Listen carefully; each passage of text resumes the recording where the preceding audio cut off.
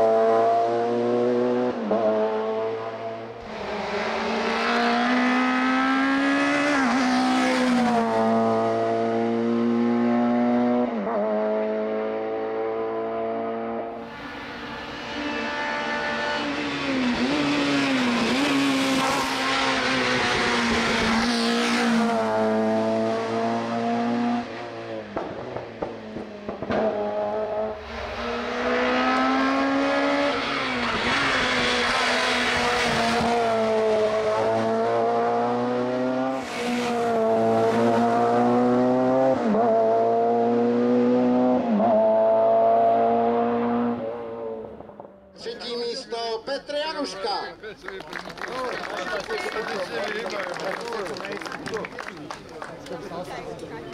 Druhé místo Petr Tvaroch.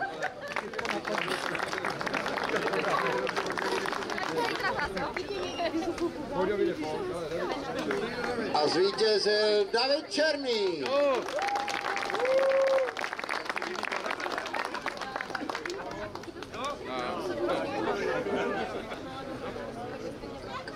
Gratulujeme.